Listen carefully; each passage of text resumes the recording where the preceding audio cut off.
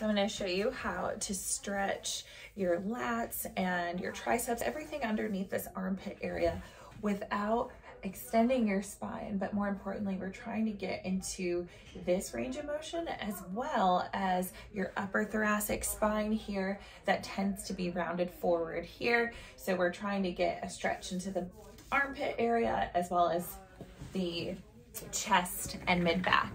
So if you find a high table, a countertop, you're going to take your elbows and place them on here. I like to keep my hands in a prayer position, especially if you have really tight shoulders. That's gonna be the most comfortable for you. So knees are bent and then you're gonna take your hips back. From here, I'm gonna use my breath breathing in as I exhale, I'm gonna drop my chest through. So because I don't have any restrictions in other parts of my body, this feels good. This doesn't hurt my back, my knees. Um, I have really tight shoulders, so I feel this in the tops of my shoulders, which is normal. It just means that your capsule is tight. Inhaling. Exhale, I'm gonna try and sink my chest through. So I'm getting really good feedback and stretch into my armpit area.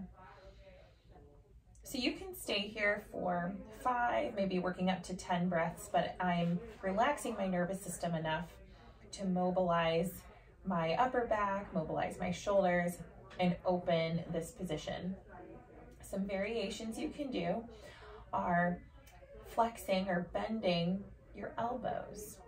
So then you'll add more of a tricep stretch here. If you take your elbows or your hands closer to your back and then kind of wiggling them out. You can also work on your overhead mobility by taking the hands apart. So unfortunately, I can't do that in this position because I'm working on that. But if I come up out of it a little bit, I can start to work into my shoulder external rotation and pull my hands apart. So these are just a few ways that you can work on your overhead mobility, getting out of that forward shoulder posture.